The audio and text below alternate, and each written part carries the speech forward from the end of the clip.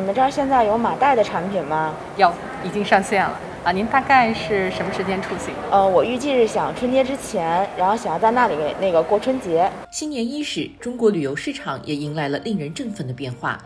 根据关于对新型冠状病毒感染实施乙类乙管的总体方案安排，自一月八号起将有序恢复中国公民出境旅游。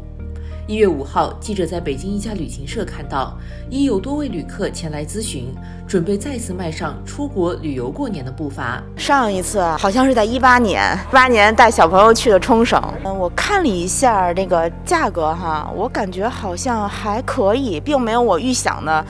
呃，开放出境以后会那么贵，而且我感觉呢，现在还是去海岛会合适一点，不想赶到以后的高峰，所以呢，想这个时候错峰出行，彻底去放松一下，然后一家人平平安安的去，平平安安的回来就可以了。自疫情发生以来，不少旅客的出境计划暂被搁置，随着出入境政策不断优化，大家对出境游的热情也再次被点燃。那我咨询的去澳门。本来这个计划是我在二零二零年一月二十七号准备出发的计划，但是因为疫情搁置了，所以呢，我们就是三年以后重启这个计划。好久没出去了，所以我们先从近处，然后一点一点的慢慢去适应一下。在暑假的时候，然后我们可能会试着稍微往远处去趟澳洲。近年来，中国出境游总量较为低迷，相关旅行社在线旅游平台也受到冲击。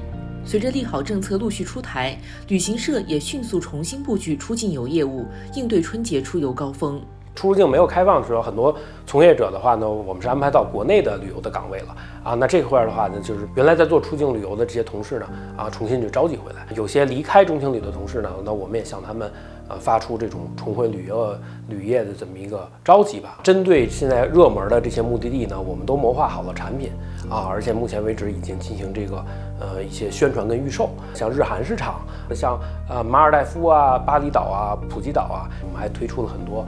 呃，针对于客户的，比如说一家一团啊，一些精品的小团啊，包括一些主题的产品，很多航班也是在恢复的状态。那我们现在也加紧了和各航空公司的联络。此外，国际客运航班也正逐步恢复，各国出入境防疫政策也进行了调整。相信在二零二三年，中国出境游市场会继续保持复苏势头，世界各大旅行目的地也将再次见到中国游客的身影。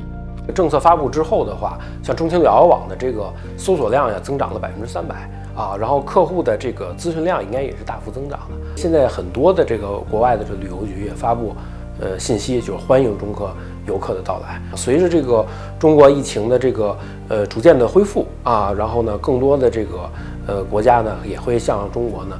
呃，打开国门，那我相信呢，通过二零二三年这一年的恢复吧，啊，那铝业的话，应该说能迎来一个呃新的一个增长期。